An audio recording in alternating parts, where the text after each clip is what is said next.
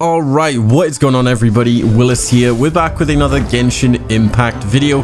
Pretty huge one for you guys today. We're going to be talking a bit about update 1.1. Um, there was a huge live stream that pretty much showed off a ton of gameplay. If you guys aren't already, make sure you subscribe to the channel with bell notifications turned on for all the latest Genshin, Cyberpunk, Godfall, Destiny 2. If you guys play any of those games, this is the place to be. Um, once again, as well, we're still running Genesis Crystal giveaways in the Discord and on Twitch. If you guys want to enter those giveaways, obviously be sure to leave a like on this video. Leave a comment down below. It's not required, but yeah, let's try and get this video to 1,000 likes. That would be awesome. So yeah, miHoYo just hosted a huge live stream over on pretty much the Chinese equivalent of YouTube.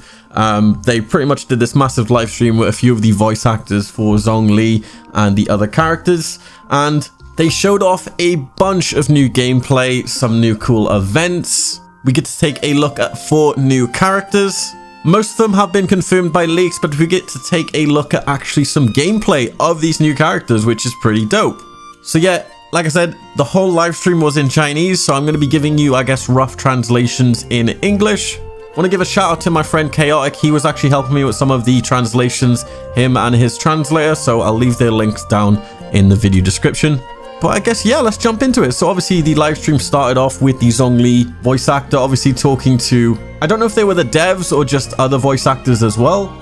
But it pretty much opened up with some gameplay of Childe. Now, Childe is actually going to play a major role in update 1.1. He is actually going to be one of the weekly bosses, which is pretty nuts. Um, there's some gameplay later along in the live stream, which is actually insane in the form he actually takes. It's nuts. But yeah, Quick breakdown of Childe. Obviously, he is a bow user. He can also do this sort of like stance change, which basically makes him use water swords, sort of like dual blades, and he can also get a water spear. So he is very versatile, super quick attacks, really, really good. Now, the stream was having some issues when it was showing off the Childe Zhongli, and the other two characters' gameplays, so I'll kind of stitch together what was actually seeable in the live stream. But it seems that Childe makes these sort of like marks on the enemies. I'm not entirely sure what the marks do.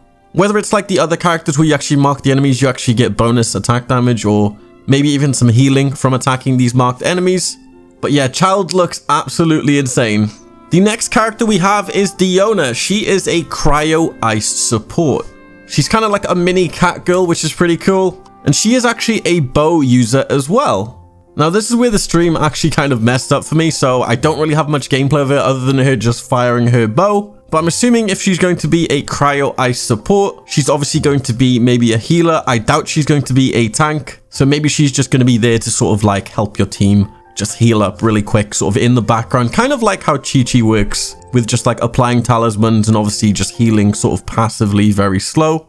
So next up we have Xinyan. Now she is actually a fire support. She wields uh, pretty much, I guess, like, she has a guitar, but she's obviously going to be a Claymore user. She is a fire support. She's going to be really good if you guys are obviously missing any pyro characters that you kind of need to just fill the gap. She's going to come in super handy because by the looks of it, most of her attacks actually just apply fire damage. Which, as you know, the, the only other characters to do that is Diluc. And I guess Klee, but yeah, Klee's sort of like a ranged um, wizard. But yeah, she looks pretty cool from the gameplay we're seeing. Definitely going to come in super handy. I think she's actually going to be a tank, judging from some of the moves we're actually seeing in the gameplay. But yeah, Xinyan, the fire support. So next up, we have our cheeky 5-star Zhongli. Now, Zhongli is going to be a 5-star, and I'm pretty sure he's going to get his own banner as soon as 1.1 drops. Correct me if I'm wrong. Um, obviously, he's a Geo user. Geo in the game right now, like, honestly, myself, I have not used that many Geo characters. Um, but looking from the gameplay I've seen, like Zhongli looks like an absolute powerhouse.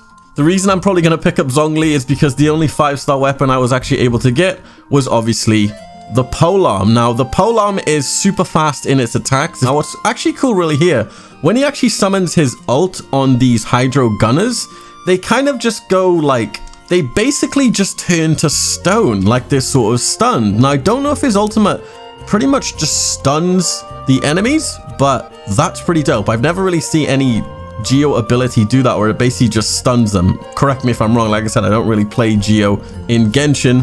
but he looked insane. He can also summon these sort of Geo Construct similar to the ones located when you actually collect all of the Geoculus. Other than that, it hints at, obviously, there's a lot of story stuff going to be happening with Ningguang and his sort of temple It talks a lot about Ganyu. Obviously, if you see my video yesterday, I was talking about this character. She is actually a cryo bow user as well. There's a lot of talk about Xiao, so maybe he will actually have his own banner in 1.1. I'm pretty sure chat went crazy at one point, so I'm assuming they either announced his own banner or everyone just sort of loves Xiao. But yeah, this is pretty cool. I wanted to show you guys this. So this was actually a cutscene that they showed uh, showing off Childe.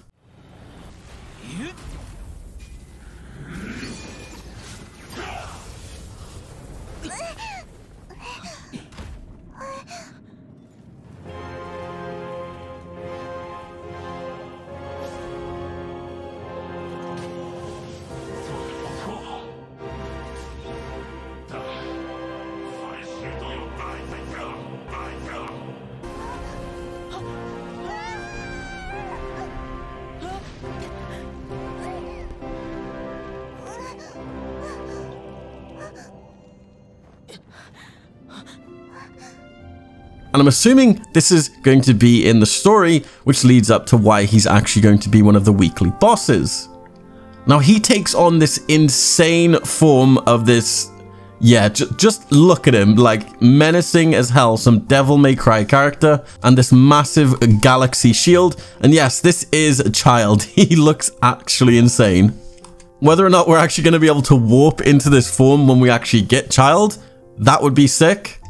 But yeah, throughout the stream as well, they were actually giving out a bunch of codes. I'm pretty sure the codes were only for the Asia servers. Um, I'll leave them in the video description if you just guys want to go try them. I haven't tried them myself, so I don't know if they work, but it was stuff like books, uh, you got Primogems, and they were actually giving out some Mora codes as well. So let's go on to the reputation system. Now, I did mention this in one of my other videos that was sort of data mined. A lot of this stuff was leaked, obviously now is confirmed true. Um, so yeah, there's going to be a reputation uh, system in each city, obviously each region. And there's actually four kinds of activities that can give you reputation. You've got stuff like bounties, you've got stuff like finding specific world bosses. And as you basically do these, you can unlock recipes, uh, wings, cool name cards. It's basically like a battle pass, but for reputation. You can also unlock recipes for these new items um, called the Oculus Compass, the Treasure Chest, the Compass, and the Wind Bottle. So let's go over what each item does. So the first one is the Oculus Compass. Now, what this will basically do is when you craft this, uh, basically you use it. So as you can see here, you need like Dandelion Seed and you need some crystals. When you craft it, obviously you'll get like one or depending however many you craft. You basically use the item and it will basically show you the closest Anemoculus and I'm assuming you can craft the Geoculus ones as I can actually see it on the crafting menu. So if you're still after the Anemoculus and the Geoculus, this is going to come in super handy. I do recommend you guys go use the interactive map which I'll leave in the video description. It kind of just shows you where they are anyway. But if you are missing like maybe two or three that you didn't mark off, this is going to come in super handy. So yeah, this one is cool as well. This is the treasure chest compass. Now, it's pretty much in the name. It helps you find treasure chests, and I'm assuming it'll probably just mark it on the map.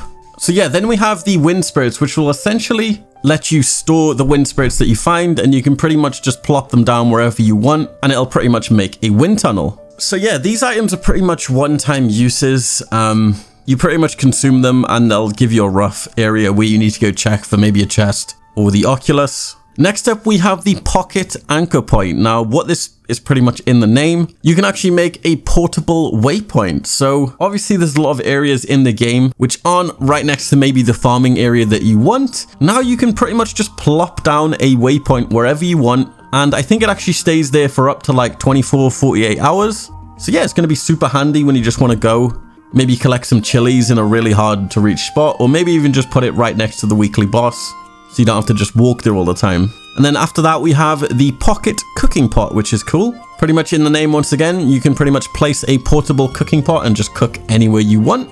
What I actually noticed as well you can actually hotkey your food now. So I'm assuming this is maybe like another item. But if you actually look in the bottom right, he actually has food on his hotkey.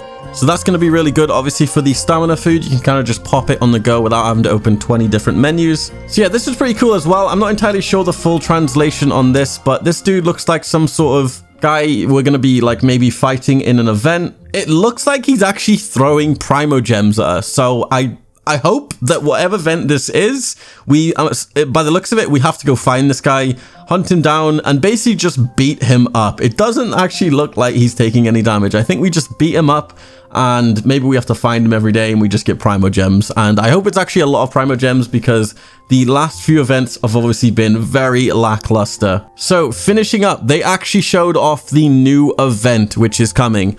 With this event, we actually get a fischl. So I'm not entirely sure the actual way we get the fischl, if it's at the end of the event, if you maybe earn so many points, but the event is called the Unreturning Star event. Think of this like Elemental Crucible 2.0. So I guess the rough translation for this was the unexpected meteor show that brought uh, about unknown changes to the land. Uh, the, this mysterious meteor is causing problems in Teyvat. Together with three other friends or solo, you must find out what's going on. So it actually looks like there's different phases to the event, but honestly, it literally just looks like Elemental Crucible 2.0. I'm not entirely sure of the objectives you have to do, but by the looks of it, you have to collect, obviously, the elemental orbs that are dropped by the enemies and then bring it back, I guess, to the main meteor. I'll put a bit of gameplay in the background, but honestly, it was kind of just the casters just absolutely slamming their keyboards. It was so loud, so I won't ruin your eardrums with that. They don't actually show any of the rewards, which was kind of sad. So I'm assuming the leak, which I'll put on screen right now, is some of the rewards we're actually able to acquire. Considering all of the other leaks I've pretty much shown have come true. So here are the rewards on screen right now. But yeah, I think there's one mistake I made with not actually playing the last event that much is the fact that you are given obviously the adventurer books, Hero's Wit books to upgrade your characters if you can, and this event gives a bunch of books, just farm it as much as you can, because as you get to the higher levels, this stuff gets way harder to get. But yeah, that's pretty much everything in the update. It's actually releasing on November 11th, so literally one day after Beyond Light. This is going to be a very hectic November for me covering Destiny. Godfall, so yeah, um, if you guys want to keep up to date with all the latest news on Genshin, all that good stuff. Jump in the Discord as well, discord.gg slash Willis. Go follow me over on Twitter at Willis Gaming. And we're also going to be streaming live tonight if you're actually watching this on a Friday at 5 p.m. London time. So yeah, hope you guys enjoyed. I'll see you guys in my next video and peace.